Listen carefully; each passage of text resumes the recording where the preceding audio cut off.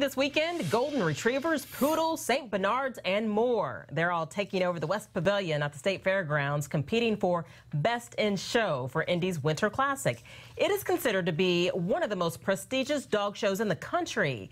RTV6's Brad Forestal takes us for a behind-the-scenes look at what it takes to be the best. With all the brushing, teasing, glitz, and glamour, you would think this was a beauty contest. Well, you'd be half right. These dogs have dragged their owners here from across the United States and Canada for their shot at the green carpet. And with over 150 breeds here to compete, it appears I have a few spots on my lens. These top dogs will go to great lengths to take home the ribbons, and so will their handlers. It's actually not a lot of work. It takes me about 45 minutes at the show to get her ready. It's the Indy Winter Classic All Breed Dog Show, and it's among the top 10 dog shows in the country.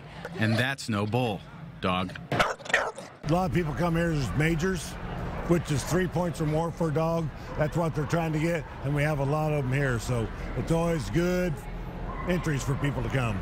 Points earned here can help a dog earn a spot in New York's prestigious Westminster Dog Show. Seriously? While some sit and iron out their plan, others hone their skills, ever mindful of the judge's eye. But do the dogs really enjoy it? Oh, yeah, they love it. They think, because they're on a silver platter. It's all about them. They love being groomed. This is her time to shine. And she loves it. And she knows that her stuff doesn't stink. Yeah. These big boys are really search and rescue dogs. They do enjoy the attention, but. This is like frou-frou dog stuff for them. And they would rather be dragging us through a mud, bunch of mud and up and down a mountain and over 2,300 canines will compete over the four-day event. So come to the fairgrounds, sit down, and stay for a doggone good time. Brad Forestal, RTV6.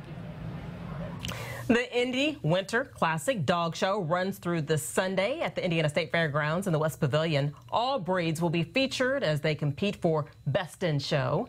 Tickets are $7. Children 12 and under are free.